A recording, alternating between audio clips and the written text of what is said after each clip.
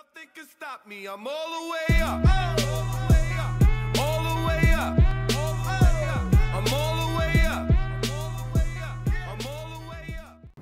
All. Alright, guys, what is going on? It's Jacob here. We're back with another diet tips type of video. Today's video is going to be nice and short, nice and concise, I hope. And it's just going to give you guys an alternative to your classic thing that everyone loves. In fact, people eat it out of the fucking container with a spoon, and that's peanut butter. Now, depending on your brand, obviously there's going to be ones with lower sugar, you know, lower fat, higher protein, etc., etc. But at the end of the day, generally your peanut butters are going to be really, really calorically dense, and that is because they're made up of mostly fat. Each gram of fat has 9 calories, each gram of protein has 4, and each gram of carbs has 4. So if you've got something like peanut butter that is really high in fat, obviously a serve of peanut of this particular peanut butter is 1 tablespoon, so that's 22 grams. And if you think about a tablespoon, you know, it's not that big, is it? So like anything that's high in fat, such as peanut butter, the serving size that you're going to get for a certain amount of calories is going to be quite low. And when you're on a calorically restricted diet, such as I am right now, if you're trying to cut down for a certain, you know, you're trying to get into a certain size of jeans, or you're trying to do a bodybuilding competition, or you're just trying to get a little bit leaner so that you feel good about yourself, you're going to want to be sticking under a certain amount of calories.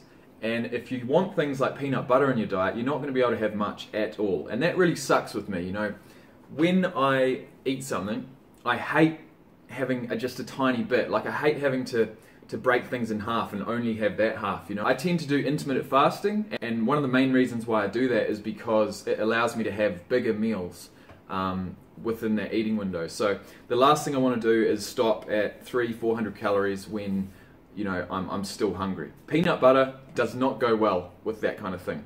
You can't eat much of it, especially when I'm trying to diet. So my ultimate replacement would have to be PB2 powdered peanut butter. Now what this is, is it's crushed peanuts which crushes out most of the fat. In fact, I think it's 85% of the fat is actually crushed out of these. So this is actually powdered peanuts.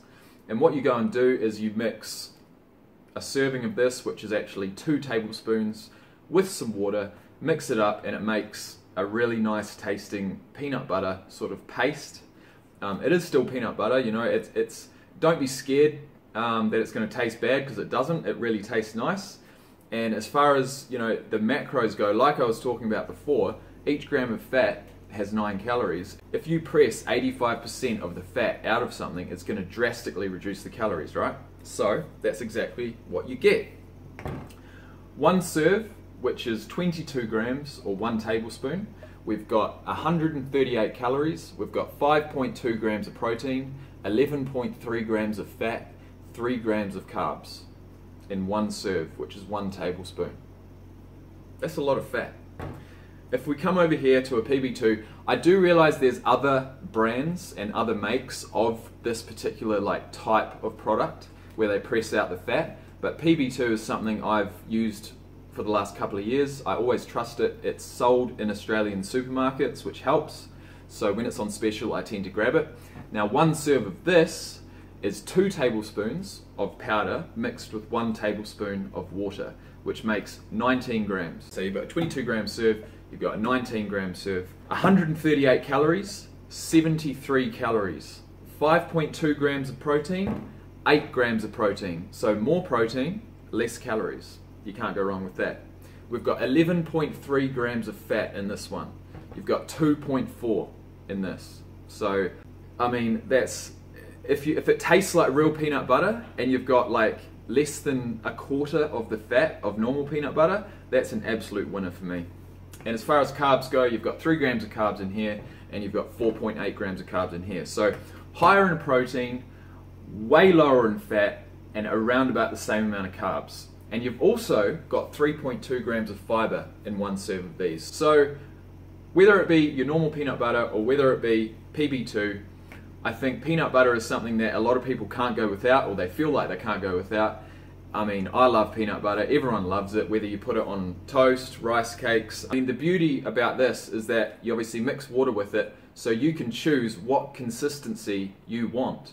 I mean, if I want to actually drizzle it over something, like berries or like oats or yogurt or something like that, I can mix more water with it to make it more, you know, of a runny consistency and that's up to me and it doesn't add any more calories into it. So you know this is a fantastic product. The macros speak for themselves. Like i've said it's got half pretty much half the calories um, double the protein a quarter of the fat and the same amount of carbs with more fiber. So i absolutely love this product. It comes in peanut butter just normal flavored and it also comes in a chocolate flavor which has cocoa powder in there.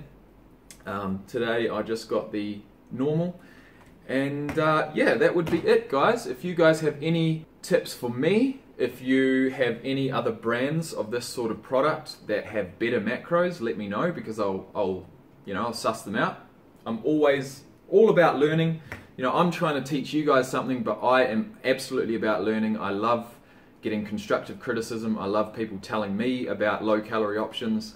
I think it's fantastic. You know, with flexible dieting, um, you can do that with if it fits your macros. I don't go 100% on if it fits your macros, but with things like peanut butter, if you want to fit it in to your calorically restricted diet, you're going to want to go for something like this. I mean, that makes sense. So that would be my tip for today.